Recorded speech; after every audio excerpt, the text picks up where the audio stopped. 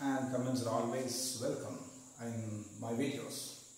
See, this is as per many requests which I have got from many viewers that they require me to do a few questions related to say like different parts of the kinematics or even different areas of physics.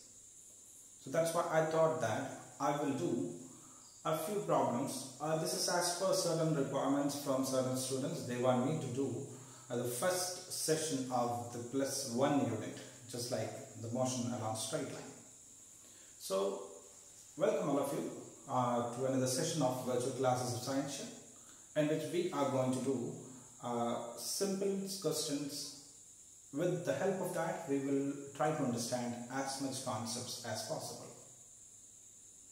So again welcome all of you to the discussion session of average velocity. So in this we are going to discuss the complete aspects of average velocity with the help of a few questions. That will be helpful for you because once you do the problems along with that, uh, it will be easy for you to grasp that idea. So before entering into that, I will just mention what is meant by average velocity average velocity of any object. It is defined as, say the symbol for the average velocity is V average and that is equal to the total displacement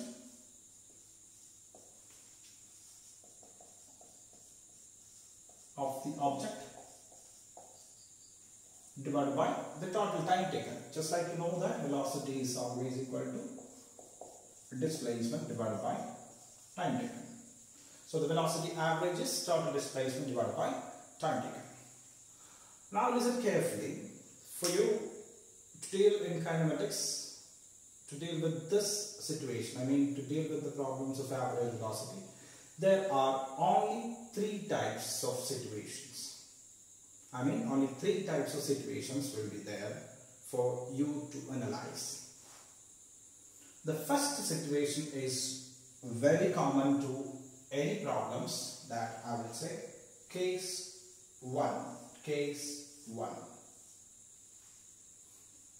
When the particle is moving with a constant acceleration, that means we have given that a particle is moving with constant acceleration constant acceleration.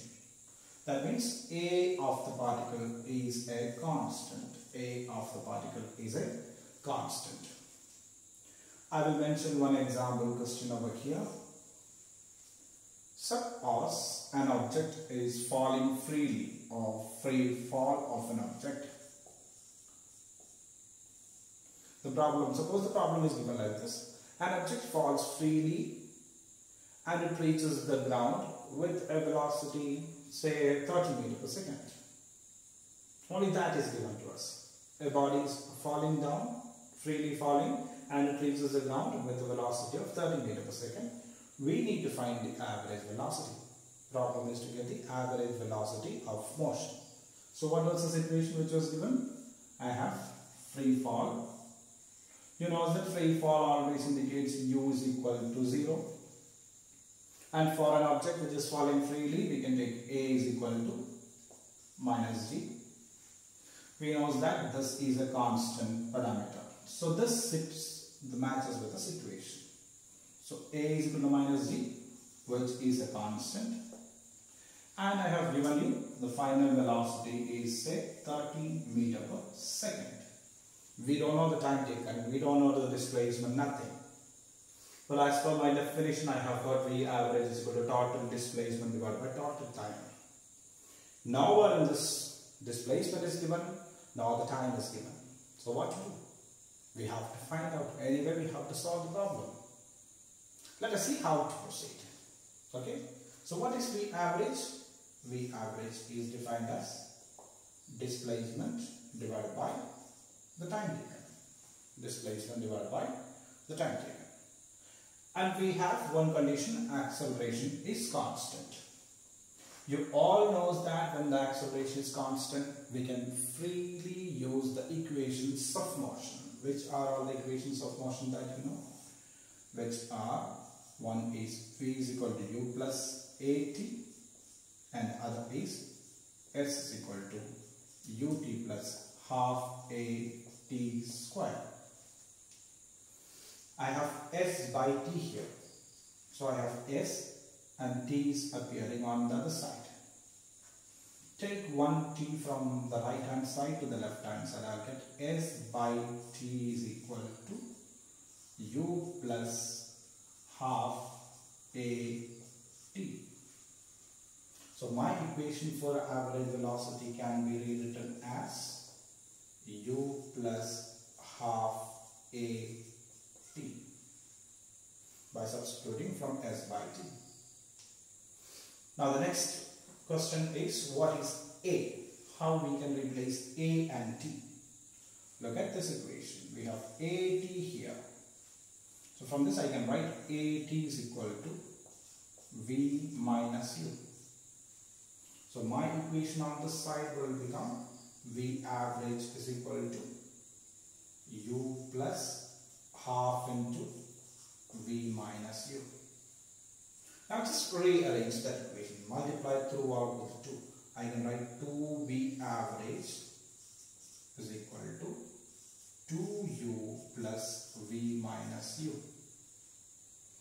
2u minus u is u. So this becomes u plus v. So what is v average? v average is u plus v divided by 2. What is that? When the particle is accelerated at a constant rate, the average velocity can be found as initial velocity plus final velocity divided by 2. That's a very simple expression which you can always use. So what is average velocity? It is initial velocity plus final velocity divided by 2 when it is given that acceleration is constant or the particle is accelerated at a constant rate. Now look at that problem. So this is understood by you. Now I'm going to apply into that what I have to find? V average. What is V average? Initial velocity plus final velocity divided by 2. What is initial velocity? It is 0. Final velocity is 30 divided by 2. That is 15 meter per second. So that's an easy way to do the problem even though the displacement is not given because we know that average velocity is initial velocity plus final velocity divided by 2 in the case of a constantly accelerated particle. Now we can do this one. Another example I will solve for the same case.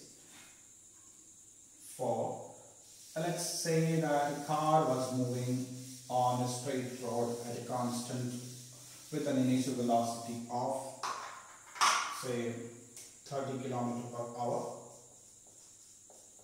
a car second example it comes to stop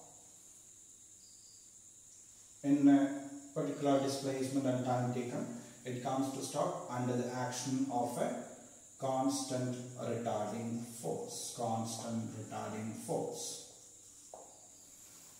Question is to get the average velocity.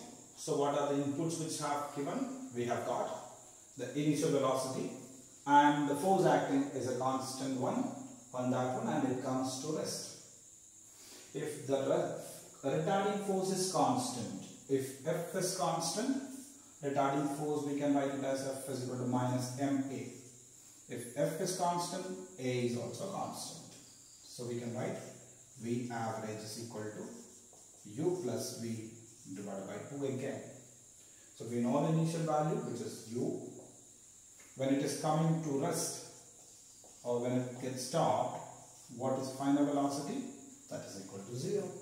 So substitute, you will get 30 km per hour plus 0 by 2 as 15 kilometer per hour.